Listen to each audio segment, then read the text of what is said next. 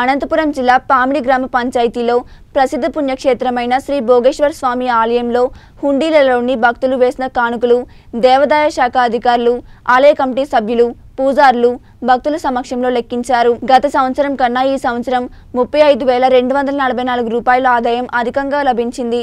ఈ సంవత్సరం లక్షా తొంభై తొమ్మిది వేల ఐదు వందల ముప్పై ఎనిమిది రూపాయలు కానుకలు హుండీలో వేశారు. ఉరవకొండ ఆలయాల ఇన్స్పెక్టర్ రామతులసి ఆలయ కార్యనిర్వహణాధికారి విజయ్ కుమార్ కె. నారాయణమూర్తి వెంకట గుప్తా యంగమ్మ పోల ఓబిలేసు వెంకటరాముడు డి. పవన్ కుమార్ మల్లికార్జున మనోజ్ శివ వాణిశేషు పూజార్లు సోమశేఖర్ రామేశ్వర శర్మ లెక్కింపు కార్యక్రమంలో పాల్గొన్నారు.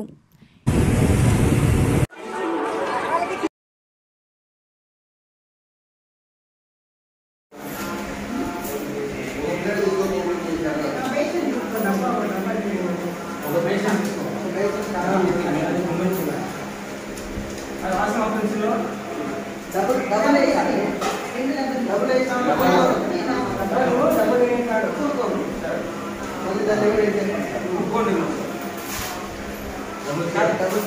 Double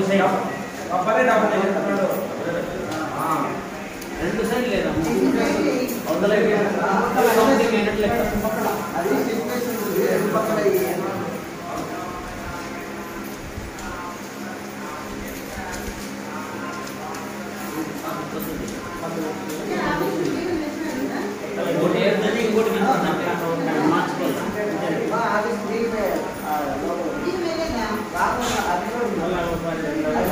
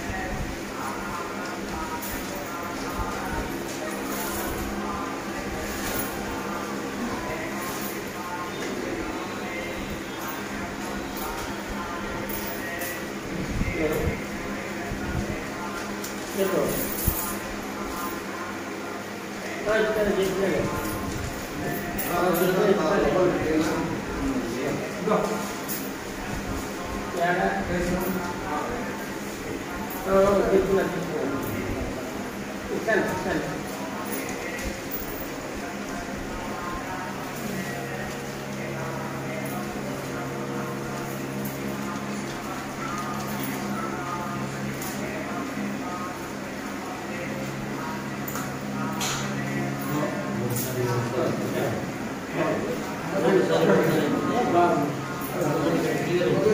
you.